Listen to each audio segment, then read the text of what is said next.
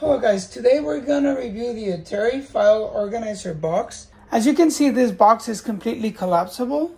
Let's go ahead and put it together. It's very simple to put together. You practically just unfold it, place this other cardboard inside,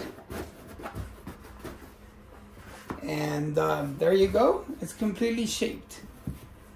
It does come with a lid which just makes um, easier to store files and uh, less dust gets inside.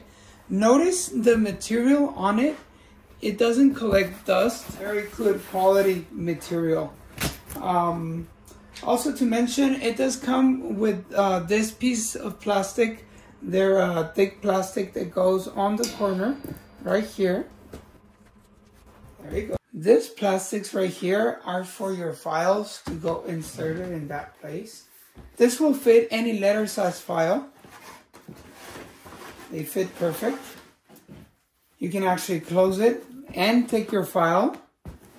These are handles and they're very good quality.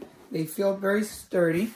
And uh, also notice that there's a label right here. This is leather right here, and this is clear plastic, so you can enter a tag for your file box. So, I mean, overall, it has it all. This file box is definitely nice if you're uh, organizing, I don't know, your taxes or your work uh, files for your employees. It's a very neat uh, place to have it. And also, it's very convenient and movable.